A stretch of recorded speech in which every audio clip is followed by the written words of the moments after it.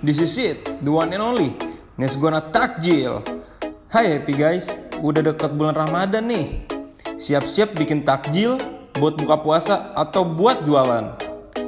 Ada ide baru yang gokil, namanya Nesgona Takjil. Kolaborasi Nescafe dengan kolak pisang, ubi, dan singkong. Bikin buka puasamu jadi senyum terus. Jangan percaya deh kalau belum nyobain, lo harus nyobain sob. Siap jadi the next Dalgona Trend Nescafe Indonesia.